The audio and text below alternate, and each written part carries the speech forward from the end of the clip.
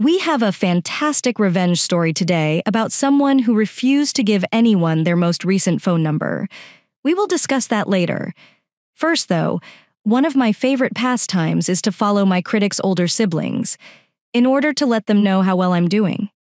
During a difficult time in my life, several of my longtime friends turned on me and became my worst critics. Dot. My career took off after years of working in silence and isolating myself. I relocated to a desirable area of the nation and met the love of my life. I got to take pictures of some of my old friends' favorite bands and the Rolling Stones. One day, when all the big names were on Instagram, my single biggest hater's older brother was recommended as a follower, despite having a private profile. I followed him because I was being arrogant at the time and thought, yeah, I bet he wants to see all my cool stuff too. I find out that this older brother went to my biggest enemy and showed him my photo of his favorite band, along with an alleged comment about how attractive my fiance is, right out of his phone, and he detested it naturally. I now follow that garbage if any brother or relative of the people who have hated me has a private profile. They must so review my profile and decide whether to accept or reject me in the hopes that they will spread the word about me to their hateful relatives. I know this is insane, but it makes sense in this context. Dot. You may argue that OP is taking things a bit too far, but in all honesty, OP is essentially taking the best form of retaliation, that is, leading a wonderful life. Allow individuals to enter. Haters are envious of you because they desire what you possess but are unable to obtain it. Jaded Fan 3561 made the comment that your actions reveal your own insecurities you wouldn't care what others thought of you or of them if you were genuinely comfortable and confident in your current position. Again, you are dependent on online strangers to validate your behavior. I mean, absolutely, I'm full of insecurities, Opie said in response. That's what made me act odd and petty. Sub to evaluate the virtues of others. I have never had much to be proud of, and now I have few friends with whom to share it. Dot made me feel a little resentful, despite my involvement. Hello, everyone. My name is Steven, and I would really appreciate it if you could leave a review or, uh, like, if you enjoyed these fantastic tales of retribution, assuming you're following my podcast. That being stated, we connected up with Dude Lie for our next story without realizing he gave away all of his authority. Dot, I quote, L, try to make this brief because I tend to ramble. While getting ready for work one morning, I replied to a Tinder message from a man who, coincidentally, worked in my brother in law's industry. Since several of the guys were acquainted, I brought up my brother Dash in Dash Law. He claimed to have worked in shifts at several sites and to have known him but not actually known him. We spoke for a little while throughout the morning when he abruptly mentioned that because of his open marriage and some quirks, secrecy was very essential to him. He desired to remain anonymous as a mediator. Red flag. I let the conversation to end there. My sister phones me in the afternoon when I'm at work. She seldom calls when I'm working, so this worries me, so I move aside to answer the phone. She begins the call by asking, Hey, are you guys seeing a guy in husband's field of work? To wrap up the conversation. What? I exclaimed. No. Why? She responds, It's because this guy from Tinder is telling everyone he's bringing my husband's sister in law, not realizing that her husband's best buddy is actually temping at their place.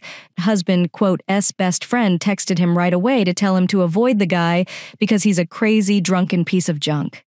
I answer, Oh, is he okay now? Embrace the challenge. Inform your brother in law to tell his closest friend about how I told Tinder Dude that I couldn't reach the horizontal half unless I squatted over his face and gave him a taste of my liquid gold. He began pleading with me and called me Mama when I answered no. You're the joke guy. Although I don't give a damn about what people think of me, I am aware that you do. The story began with you. I put an end to it. I never heard from him again after he unpaired me on Tinder. However, the fact that my brother in law used the term culture stories makes me think that he has likely been exposed to jokes about his phallus and mother fetishes for a very long time. I would be irresponsible if I did not ask, therefore, I must. In any case, what kind of workplace culture do they operate in? Where it would be okay to learn about topics like mother fetish and somebody's liquid gold, more along the lines of, I understand. There will always be office gossip, but is it really just a typical aspect of work culture? All set, conflict. 1887, made a comment. In fact, this was some of the best advice I ever received in high school. A guy I'd never even spoken to before tried to boast about hooking up. My answer? No, I fled because he had a strange rash down there. I want no part of syphilis. Though similarly immature, it quickly put an end to the speculations. dot Commented by Derpy Gamer Plant. In junior high, there was this guy who wanted to rape every lady in the face. It's safe to say that I had no interest. He did, however, lie and sleep with me. When I sobbed uncontrollably to my mother, she told me to make things up. Thus, we did. I told the school's gossipy gossip girl. Yes, comma, but I won't do it once more. It was a meager deal for him. I was unable to sense it at all, in two motors. That's when I bleated like a goat. It was peculiar. Throughout junior high, he was a chilly goatee wearer. This is the narrative we will tell next mother in law. I opted to give myself a gift, instead of thinking my spouse should have gotten one for becoming a father. When I was expecting a few years ago, my mother in law said that my husband should have a unique present to commemorate becoming a father. In the meantime, a month before my birthday, I didn't even get a cake. I didn't reply, even though I felt horrible. This is when I got my little retribution. I had planned to treat myself to a Rolex as a birthday present a few months prior, before I became pregnant. A few days have passed since my mother in law made her remark. The salesperson called to let me know that my watch was ready to be picked up. When I picked it up, I made the decision to purchase it immediately. I stated to my mother in law in passing that I had purchased the watch for myself because I would soon become a mother. Now, comma, the jealousy was virtually audible in her voice. She believed that my spouse should be honored, but I pampered myself, so every time I wore it, I couldn't help but smile. Perhaps trivial. However, sometimes all you need to do is celebrate a small triumph for yourself. Therefore, when the baby arrives, I really understand the need to provide your kids stuff, time, and things that are healthy for the infant. Dot. Is it typical to get a completely unique gift for your child as a way to honor their becoming fathers? However, in the event that a parent want to give their child a unique present in recognition of their new role as a parent, does that imply that they have an obligation to buy anything for their children's partner as well? Pachyderm remarked, upset. That's the purpose of Father's Day. Aside from that, the birth of the child will be his unique gift. What more could a happy father ask for? The girl in our next story sought to have her shotgun returned after reconciling with her ex. My current ex is also getting divorced. I'm told that throughout the years, her soon to be ex had taken her shotgun and on multiple occasions ran in their beds while wearing the exact items. Dot, Besides, comma, he's a convicted felon and isn't allowed to own guns. He seemed to have moved back in, so she decided to dump me and wanted her shotgun back. I also wanted to remove my pistol from his reach. I took off the firing pin when I gave her shotgun back. So it's not functional anymore, but he gets to pretend it does. Dot. Now that only my brother and I are aware of it. Really not sure who else to inform. You kind of set me up for this relationship and then broke it off just to come back, which makes it really comical. All I know is that if I were in Opie's shoes and knew even the most basic information, I would protect what is rightfully yours, take it away from them, and then clear your name of any involvement whatsoever. I would not want to be a part of any manipulation of the material in any way. Being in the clear would not be desirable. Knowing what's going on would not be something I would want. You, your partner, and your lawfully owned firearm, entirely at your discretion. Not my concern at this time. Bobby, the amazing dog, made a comment. I'm going to take a risk here and say that making this not your problem should be your first goal, not to seem legalistic. But from what I gather, at least in the area where I live, you are not allowed to own a firearm in your home, not even if it is someone else's. Her guy can't be near that gun, but you haven't exactly broken the law by giving up your ex's stuff. Give the local police station a call and explain the situation. Move on with your life and lock up your ex's phone number. We can't wait to pump petrol again in our next story. Costco has good gas. I was at the island's furthest pump yesterday, not 30 seconds after going back in my car, but as usual, I filled up my tank. I'm more important than you club member honked. At first, I didn't even realize he was in the car right behind me when he gave me a hug. Who, comma, after all, would do that? Then he horned once more. I noticed his irritated demeanor when I glanced in my rearview mirror. Time for a little revenge. I keep track of my miles, the price per gallon, my expenditure, etc. When I fill up my tank. I took my time doing that, I promise. I started my engine when the automobile in front of me was ready to proceed after a short while.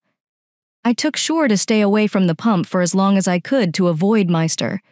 In addition to keeping him from swiftly pulling into the space I was clearing, I'm more important than you in getting past me to the open place in front of me. He wasted between 60 and 90 years of his life on me teasing. I found it humorous that he was such a conceited jerk. I'm curious how he interpreted it. That kind of guy definitely represented a nuclear reactor meltdown, that kind of boiling hot rage that makes you almost want to punch the glass, the steering wheel, or something else. It takes a lot for me to reach that point of rage, but I'm aware that's when I become much more illogical. Dot. It sounds like you think you're more important than him, Colorado French said.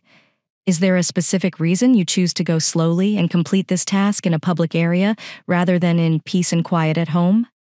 After logging back in, R2D2 said, No kidding, when he mentioned 30 seconds. I too would have been irritated. Those lines never seem to end. I like folks who pull up with their cards ready and then drive off after getting back into their cars, making other people wait while they do things that they could do while they wait for the pump or after they get out of the way. Our next tale involves me getting retribution after a coworker defamed me. I was doing some light work in the kitchen, basically preparing food. Poor work, to be honest. Nevertheless, one of the servers discovered that I was living in a tent and that my rent was out of control. He or she then told everyone about it at work and began making crude remarks about me in front of other employees, such as asking me to share his bed. Wink, comma wink. I began telling others that my stopping our sexual relationship was the reason he was upset with me. We never carried it out. After a while, his girlfriend found out, and they got into a heated argument. I never heard from him again. I feel like my heart would genuinely break if I overheard this while I was working in the kitchen. I remember laughing when I heard about someone who was living in a tent and working a menial job preparing food, and others were making jokes about how nice it would be for them to sleep in my bed, which seemed like the most sleazy thing they could do. I can't for the life of me fathom the mindset, said Common Chester. I discovered that my prep cook was homeless. I imparted all my culinary knowledge to him. I helped him secure an apartment and found him a respectable job when he was ready. His life is now regular, and he has a wonderful girlfriend. I said, I freaking love my cat. All I want to say is that I appreciate what you done. I found a job at a casino while homeless. Deb, a stunning elderly angel, was in a similar circumstance to you. She was the only person who showed me kindness after learning that I was homeless. She pulled all the strings from her job at the casino and allowed me to use her as a reference. I'll wait 10 years before the boss fires me. I was absent from work. One man attacked autism. I quote, am happy, have a stable career, can work from home, and live in a great place right now. I sincerely appreciate what you done. When your coworkers learn that you're homeless, they typically become uncomfortable and disgusted. I appreciate you not being that way. Next up on the blog is Wrong Number. I used to get calls in my work's direct line from Carl's Jr. employees with broken deep fryers. Years ago, I quote am not sure if Carl's Jr. listed the incorrect number, if my number was the same but had the incorrect area code, or if my number was similar to the repair line. All I know is that I used to get calls from terrified staff members at a different Carl's Jr. once a week or so. I would explain to them that Carl's Jr. is not where I worked, that the repair line was not this kindly update the listing for your phone number.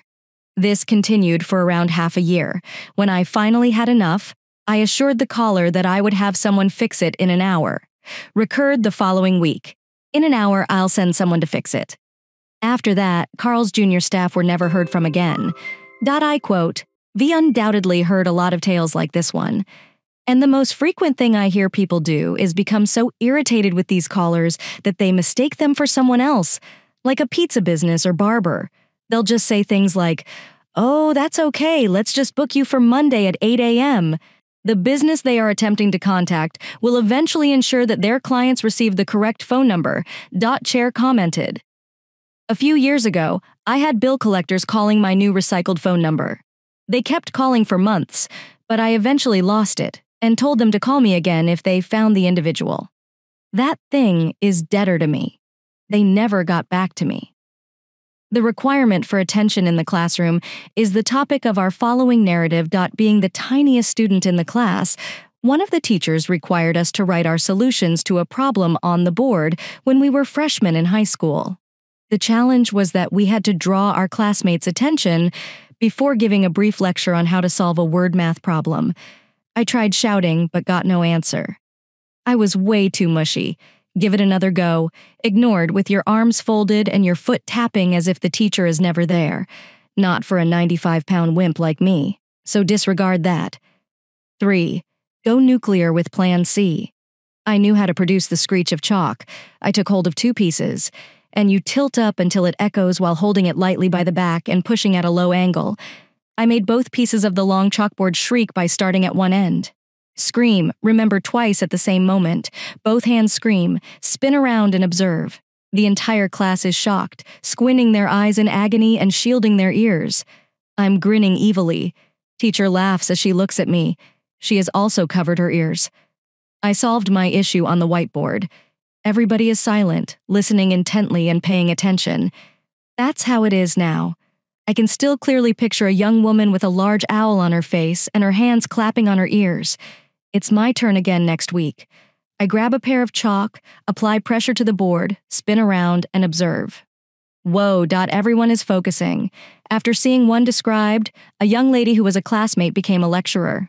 I have to admit, begs you not to repeat that. All you have to do is build that reputation, and others will take notice, show respect, or at the very least remember you and your actions. Joe Petty, 72, said, That's how you do it. A few occasions, I've shocked a raucous class or group to silence using the drill teacher voice at quote, S. Incredibly helpful because although I might spill over into the classroom, I usually don't raise my voice. Someone said, I have a friend who was a sergeant in the army, in reference to Zurab, short lived position. He was in artillery, although I don't think he taught drill. I was shocked and afraid when he used his drill instructor voice during a fight with his wife. Other than that one instance, I haven't heard him use it. Our next tale is that you need to have made sure the catalytic converters on my truck were functional before stealing them. When it was turned, it wasn't as hilarious. Was a good morning at the start of the previous week. At 2:45 a.m., I wake everyone up by starting up my truck. To find out that the hollowed out cats were stolen. Dot. The fools failed to notice the neighbors' cameras, which essentially revealed their identity. Two local children drive around in a really wrecked police Crown Vic. I decided not to dial 911. Rather, I contacted a friend of mine who works in code enforcement and explained my strategy. He then informed the police that I would eventually perform a nuisance tow on the same Crown Victoria the vehicle they drive is street legal, even though it has a rubbish sound system, no insurance, no license plates, and broken taillights. It also rattles like crazy. They also smoke in a chicken shack all day long. I'm not sure where they're obtaining their money, but I assume that part of the deal involved stealing catalyst. I called it in and gained permission to tell when I saw the automobile parked on a quiet street. I brought it right to the police station, where they attempted to utilize the VIN number to do an owner check. They discovered that the car had not been registered since 2011, and that the owner wasn't the youngsters who sold them the car without a title due to all the outstanding registration debt. By the time the police said we could take it to the junkyard to obtain a certificate of destruction, or black title, the two morons were frantically searching the entire town for the automobile. It, quote, as a joke that they think one of their friends stole it. Any automobile key could be used to unlock it, because the key lock was so worn out. When they discovered it at the junkyard, they attempted to steal it, with one of them diverting the owner's attention while the other took their automobile. However, the drive shaft was already severed because the junkyard knew who they were. They were jailed for attempting to take their automobile back, and from what I saw, they watched as the junkyard used a crane to tear the car to pieces. Upon seeing the remnants, I thought a youngster had just torn it to the bare frame out of curiosity. They haven't left their trailer even after being released from prison. Dot earlier that day. I drove by and saw a beat up Jeep Liberty in their driveway, also without license plates, that they were already working with the police to take, if I happened to see it in public. However, the following time, I won't miss the show. Sounds like a couple of frontrunners that do nothing but kind of just ruin the town and the people who become well known in it. When you see them in their beat up Jeep Liberty, you think, oh, great, those boneheads again. And they get crushed comments. Two were removed from two cars for me. Not to add the headache these folks cause you and the seeming helplessness or unwillingness of the authorities to take action, these guys do more harm than good. Excellent work. Justice was done. OPP replied that police have been aware that it's them, but they are unable to stop it since, in the event that they are apprehended, they will have nothing on them. We intended to steal their SUV as soon as we spotted it parked in a public place because of this. The second tale is that my sister's cups were all thrown out by my brother in law. To annoy him, we delivered her new items instead of wrapping them as he had promised. In order to be near his parents, my sister's husband and her moved to Arkansas. He advised her against packing her cups, saying he would do it and bring them back on a future trip. Instead, he disposed of all of her mugs. Here's what my dad, stepmother, and I did to annoy him. My father sent her two mugs. She only has one pan, so my stepmom sent her a set of blue diamond pots and pans, dotted quote, S the set in pink, ordered for her by my stepmother. Me? I sent them a pair of adorable ceramic marshmallow mugs, a cookie mug with a space for a cookie holder on the bottom, and an Oreo mug set that included a mug, a cookie dunker, and cookie tongs. The cookie dunker was a great addition, in my opinion, since you'll find it adorable and detest him for being a worthless tool. I suppose this resonated with me on a deep level, since I'm the type of person who likes pretty mugs or just mugs with a neat design, regardless of shape. In addition, I acquired far too many odd pieces for my kitchen, things that are so specialized you almost ever use them. Although I don't really have one, let's take an example of something like a slab job. The types of things you see and go, oh, that's cool, I could use that. After that, you only use it once. You just never look at it again since you don't want to deal with cleaning it, extracting it from the rear shelf's bottom, or anything else. Oh, comma. I forgot to include that in the piece, but none of this has arrived yet, Opie wrote in a follow up remark. The pots and pans will arrive first, followed by the remaining items on various days. Karen attempted to spoil our delight of seeing the northern lights in our next narrative. Here in our hometown, my spouse and I count ourselves among the fortunate individuals who witnessed the aurora borealis. I hadn't planned where we were going to watch it, so on the way home we made a stop at a little local park with a good view of the sky, since the park officially closes in 30 minutes, we mostly just enjoyed our alone time gazing at the northern lights. There were five minutes left until the park closed, and we were ready to head out. Dot. Just as we were getting into our car, a car appears out of nowhere and drives toward us. With a grating tone, she pulled down her window and asked, What the heck are you guys doing here? I responded, naively, that we were trying to find a clear place to see the northern lights. Then she added something like, Well, since you shouldn't be here, that's a good reason for me to call the police on you. The last thing we wanted was to trespass and get into jail, so we double checked that it was unlawful to enter the park. The worst part of this is that she was running for the EPA, House of Representatives for our local district, and her car had a large sticker of that person. We reside in a rural area of Pennsylvania. Pennsylvania is a well known swing state in our district that is purple. I was not the candidate the woman is endorsing. I already knew who I would vote for. So I asked who that person is, feigning to be indifferent to politics. She continued talking about that woman and how amazing she was. Then I answered, Well, you just made me feel like I should make the extra effort to register and vote against her and whatever party she belongs to. She was rendered speechless as her mouth fell open. Then she insulted me and called me derogatory names. I said, not bothering to listen. Isn't democracy like a bench? Perhaps the next time you should mind your own business. As we drove away, I heard what sounded like a burst tire while she continued to drive, and I rolled up my window. My tires were okay, and we were the only two cars there. There is an indescribable amount of karma involved if her tire actually burst at that precise moment. I sincerely hope that someone was intended to be present at the park. Not like some random woman on Karen patrol either. I anticipated that many would want to remain since they would be thrilled to see the Northern Lights here, comma, over time. I'm going to report you to the police. You just want to say, Freaky you and freak all that to people like that. The ideal park in our neighborhood for seeing cosmic events like that has gates that automatically close at nightfall. You stand for this haze. However, if you're in the parking lot when the gates close, you can stay as late as you'd like since an electronic eye will detect your vehicle and open the gates automatically for you. At least that's what the placard says. Dot the next tale is, you are your own retaliation. I'm pals with my boss. We share an office and ride together. My favorite lunch was served to me by my wife today. The boss said it smelled nice, but like onions. I finished most of it, but I had to quickly get up from my desk to do something urgent between five and seven minutes.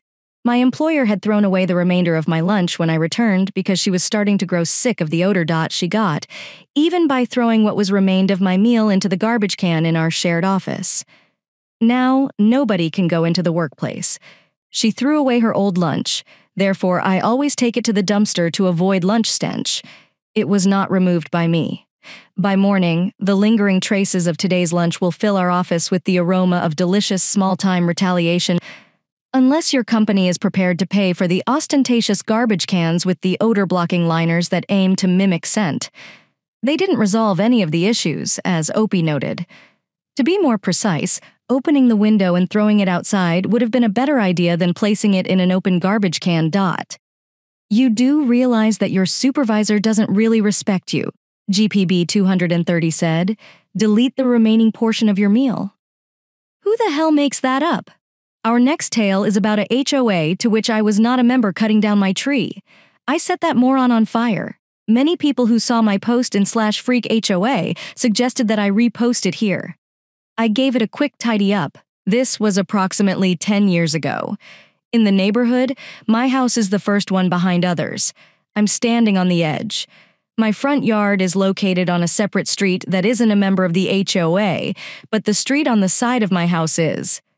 I asked them if I could pay their HOA dues when I moved so my kids could use the playground and pool right across the street. Nope. My HOA began to visit me after I planted a mulberry tree on the corner of my property, claiming that my branches were too low to the ground and that this was against their HOA rules. I informed them that you would see my kids swimming in the pool if I were a homeowner. They would have to deal with my tree since they didn't quote T. Even though they are now in their 20s, my kids still like the tree and visit it every spring to pick berries. Then, one day, I returned home to find that a large limb from the tree that reached out into the street had been chopped off. I made every effort to track down the perpetrator, but they remained silent, and I was unable to discover anyone. I then used PVC to rebuild the branch and covered it with dazzling Christmas lights. I wrapped the remaining portion of the tree just to be sure. I also performed it poorly. It looked terrible and was propped up with some rope and some old branches I discovered in the woods. Those lights were on until shortly before Christmas when I turned them off. A few of the letters they sent me ended up in the trash. I ordered the HOA members to shut up when they arrived to my house demanding to be taken down, because it was the entrance to their area, and I was presumably having an impact on property values. But they never actually tampered with the lights. They must have been concerned about what I would pull next. I went to check my Facebook and saw a picture. I obtained. While it lacks some lights, the majority of the terrible splendor is visible. The tree wound is visible about a foot above the fictitious branch. Because they got away with it the first time, I believe the real reason they probably didn't tamper with the tree again was because they probably accomplished most of what they set out to do. Dot, they can't do it again because, well, it's probably safe to assume that they might go out of their way to ensure that there's some sort of security recording, especially with OHP turning on all those lights and stuff. Well astute enough to avoid making the same mistake twice? Garage said he was heading south. I know someone who is in a comparable circumstance. Corner house outside of Hoadot. He put an old white toilet at the edge of his property and planted a fake flower in it the first time they tried to mess with him. You won't alter your phone number is the subject of our next tale. I accept the challenge. I gave Christine my phone number more than three years ago. She obviously didn't want her life's baggage to go with her new number. Debt collectors, both male and female, old claims. If nothing else, she was prolific, as well as others. This makes sense to me. And Christine, I hope that today is better in your new life. That collectors quickly gave up. It's been two years since I heard from one of those. Even though they were very persistent, some of the old flames eventually gave up. Her former lover's last text message was received about a year ago. Personal appointments with family, mostly text confirmations, were the main source of difficulty. Why did they confirm and then cancel with her employer and with doctors, hairdressers, nail salons, etc.? Family still occasionally calls or texts me, perplexed as to why Christine withheld her new information. I apologize for not being able to better understand her intentions while the calls and texts were coming in. I clarified that it's no longer her phone number. Kindly ask her to update her information. Standard fare for someone who has changed their phone number. People would express gratitude. Over time, we'll get her to provide updates. I was growing increasingly irritated as this went on. I started to bother other people by citing HIPAA to medical professionals. This made a small difference, but overall, nothing changed because personal appointments continued to come in over a year later. It had to end. I took on the task of enforcing change. Up until the day before, when the final confirmation is usually sent out, I disregarded confirmation messages. I called off all of it. Obstetrician, postpone your hair appointment, postpone your lawyer appointment. If they call to confirm, then cancel. I apologize, Christine. Can't continue to make it. She began to change her number slowly. Nobody desires to schedule appointments. They make the cancellation after several weeks or months of waiting. I wish you success in gaining access once more within a reasonable time. Just over a year in, things were at their best. Her supervisor sent me a text. He wanted her to come in early for a special meeting the next day. I did the only reasonable thing and politely quit for her. The next day, I got a very terse text from her boss saying how unprofessional, unkind, not funny, etc. That text was my response. dot, Get Christine to freaking change her number. I then got a pretty expletive laden text from Christine. My response was update her number or I will keep canceling all your appointments. At that point, I don't think she recognized how her appointments were getting canceled. A second, even more obscenity packed text came. I lolled in answer. Guess what? No more personal appointments. Dot Still the rare family member, though. How lazy can you be? Now I will play devil's advocate for Christine here. I will say that when you change your number, there are probably a good number of things you signed up for and gave your number out for that you just don't really remember that you need to update. Examples of these would be a doctor's office or a barber shop that you may have been going to for years. It quote, S possible that you forgot to change everything to reflect your new phone number. Nevertheless, OP provided them with ample notice. That was not the place it should have come to. As Hockey May Cox noted, people continued to use my email address in this manner. I thus canceled the guy's return ticket. They gave the confirmation to me as well, so he wouldn't find out until he gets to the airport. Dot Love remarked with blah blah blah. I canceled his return flight because I was experiencing the same thing. I had sent a ton of emails in response, pleading with them to urge her to stop using my address. One individual requested me to give her email back and was really unpleasant. Based on the wording of the email, I think this person was her spouse. That email was mine. Having used it for more than a decade, I began deleting everything, and when I received the emails about the flight booking, I waited until after takeoff before canceling the return ticket. After that, it ceased for around two years before gradually beginning to occur once more. Getting emails from websites she signed up for, including odd service sites and internet retailers,